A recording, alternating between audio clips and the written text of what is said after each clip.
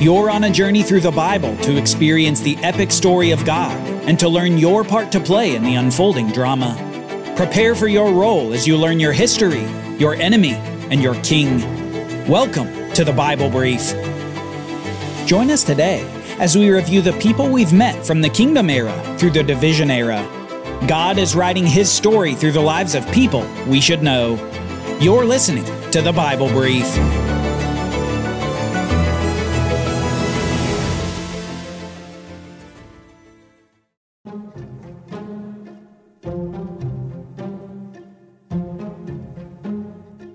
In the Bible, it's easy to get lost in the sea of names that we read. But these names are not just names, they're people. People core to the story that God has been developing from those very first two people. People both good and bad, who further develop the promises of God, and who are referenced throughout the remainder of the Bible. So, as we review the story so far, we need to keep a close eye on the people involved. As the people of Israel entered the Promised Land, and the leadership of Joshua came to an end with his death, we met the judges. And remember, the judges were the leaders that God raised up to deliver the people of Israel from their enemies in the land. In this time period, we saw a four part cycle, where first, the people turned from God to worship other gods. Second, God gave them over to their enemies. Third, the people cried out to God for salvation. And fourth, God raised up a judge to save the people from their enemies. This cycle is the unifying characteristic of the time of the Judges. And in the book of Judges, we saw story after story of this cycle as the people continued to repeatedly rebel against God. During this time, we met one of the judges named Gideon. Gideon is notable as the judge who led 300 men against the Midianite army of 135,000. Through Gideon, God delivered the nation once again, and we learned that when God is involved, numbers don't matter, only God's power does. As the era of the judges wound to a close, we found the people increasingly discontent with the leaders that God had given them. Instead, they wanted to be like other nations. They wanted a king. It's at this point that we met the prophet Samuel. When the people of Israel reject God as king over them, God sends Samuel to warn them about the ramifications of a human king. These warnings include that the king will tax them, conscript them into his army, among other effects. But the people still want a king, despite the consequences. So God has Samuel anoint Saul as the first king of Israel, pouring oil on his head, a symbolic act representing his commissioning to a new office. Saul will be king. Soon after Saul becomes king, however, he offers a sacrifice not permitted in the law that God had given the nation. As a result of this disobedience, God says through the prophet Samuel that the kingdom is being taken away from Saul to be given to another, a man after God's heart. Quickly, we meet the next king, David, also anointed by the prophet Samuel to the kingly office. David is perhaps the greatest king in the history of Israel so far, and God uses David to accomplish great victories for the Israelites. As the people continue the campaign to drive out the inhabitants of the land of Canaan, David becomes famous for his military might and trust in the Lord for victory. After many such victories, and upon the completion of building his own palace in Jerusalem, we soon see David's desire to build a permanent temple. He wanted to build a permanent place for God to be in place of that tabernacle that had been in use since the wilderness with Moses. While God rejects having David build the temple, he responds to David's desire with great promises. These are the Davidic covenant the promises of a dynasty, a throne, and an everlasting kingdom ruled by one of David's seed. These promises heighten the expectation of the seed of Eve who will defeat evil, the seed of Abraham who will bless all the nations of the world, and now the righteous seed of David, who will rule on David's throne over an everlasting kingdom.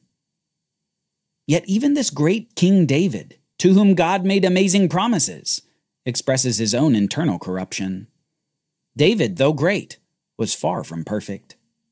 In just a few pages, we learned about his coveting of another man's wife, his adultery with her, and the murder of her husband.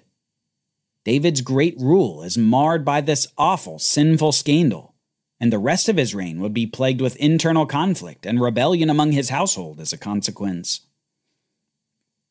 David's reign is followed by his son, King Solomon, the one who builds God's temple in Jerusalem.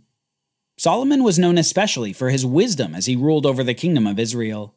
He increased the prosperity of the nation and eventually became internationally famous for his wisdom. This prosperity was exemplified in the beautiful temple he built for God, beautifully and artistically made of cedar and gold, a symbolic reminder of the Garden of Eden. And yet, with similar temptation toward women as his father David, Solomon disobeys God's law regarding wives from other nations. Solomon ends up with a lot of wives, many of whom he gained for political alliance with other nations. In fact, Solomon had 700 wives and 300 concubines. We have to wonder how he even remembered their names. Now, this sin of Solomon had severe consequences. God announced that he was going to split the nation into two in the next generation. Ten tribes would ally to the north, and two tribes to the south. The united kingdom of Saul, then David, then Solomon, would give way to an era of division.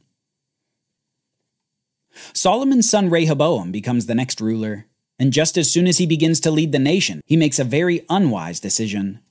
He increases the labor of the tribes who had already labored for years under his father Solomon. This decision catalyzes the split in the kingdom, where ten tribes rebel with their own king, the rebel Jeroboam. So it happens that in the first generation of these split kingdoms, the southern kingdom of two tribes is ruled by Rehoboam, while the northern ten tribes are ruled by Jeroboam.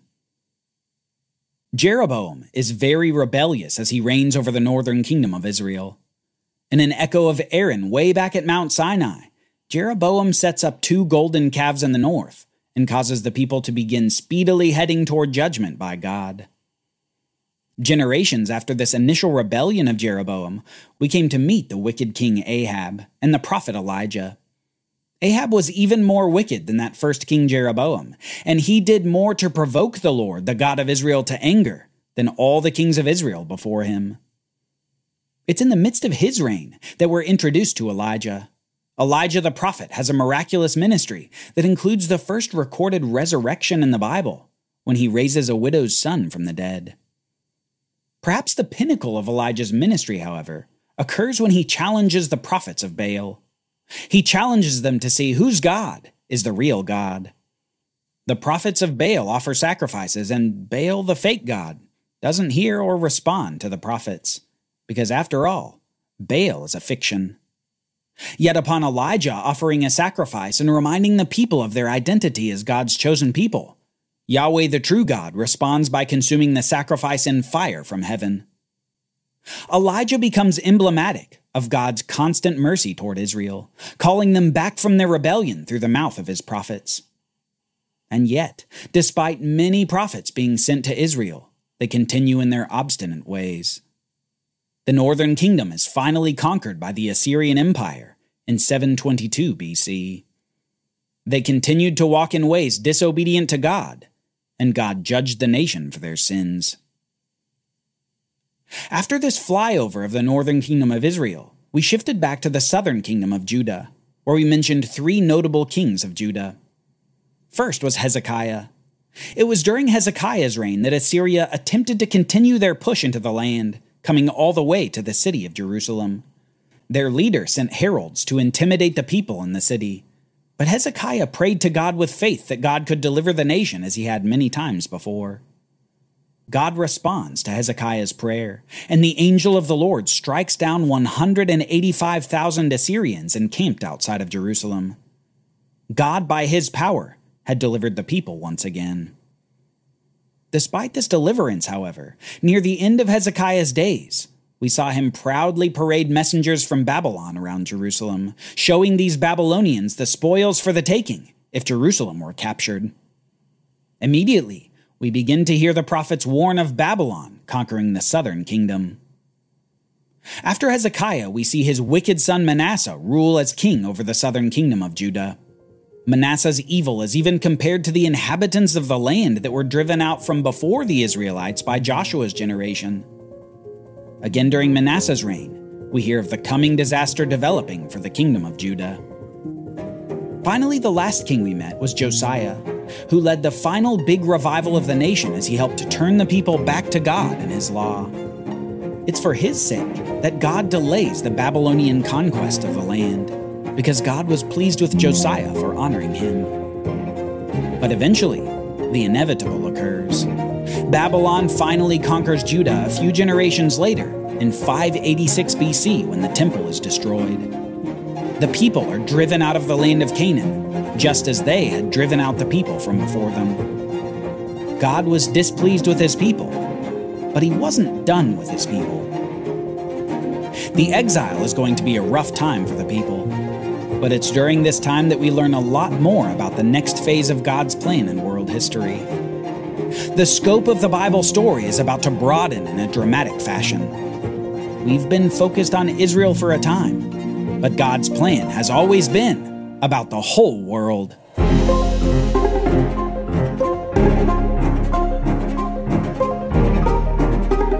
Join us next time as we learn about the future, the near future and the far future, the kingdoms of the world and the kingdom of God. Next time, we meet an exiled prophet and see him reveal the worldwide plan of God. For Bible readings, reflection questions, and quizzes, don't miss the Bible Brief app. Available on iOS and Android so you can go deeper into the story. The Bible Brief is a project of the Bible Literacy Foundation, a nonprofit dedicated to helping you learn the Bible. Give to support the Bible Brief by visiting BibleBrief.org or tap the Give link in the show notes. Thank you for supporting the Bible Literacy Foundation.